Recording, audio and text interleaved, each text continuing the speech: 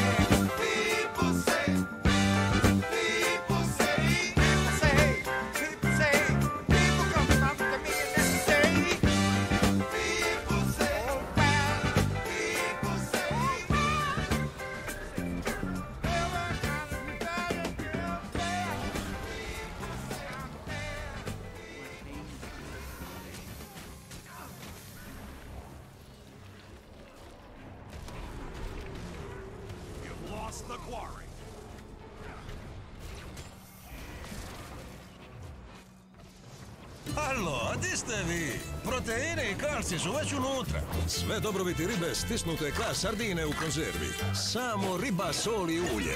Eva.